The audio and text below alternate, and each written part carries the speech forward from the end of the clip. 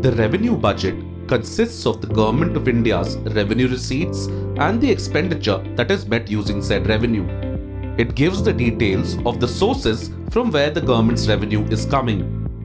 Revenue receipts can be further classified into tax revenue and non-tax revenue. Income tax, corporate tax, excise, customs and other duties make up the tax revenues.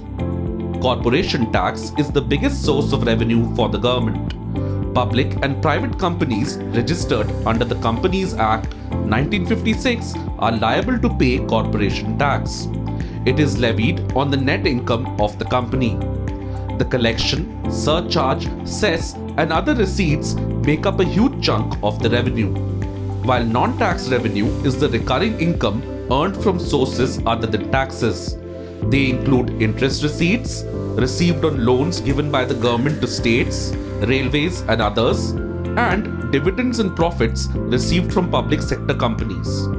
Non tax revenue also includes disinvestments that the government undertakes in companies where it holds a stake. The payments that go towards the normal day to day running of the government's departments and the various services that it offers make up the revenue expenditure servicing interest on its borrowings, along with subsidies, among other things, are the other expenditures that the government has. Any expenditure that does not go towards the creation of assets, along with grants given to state governments and other parties, are examples of revenue expenditure.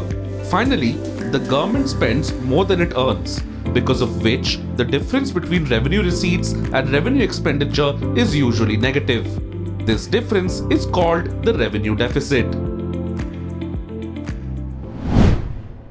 If you like this video, share it and subscribe to Business Standard.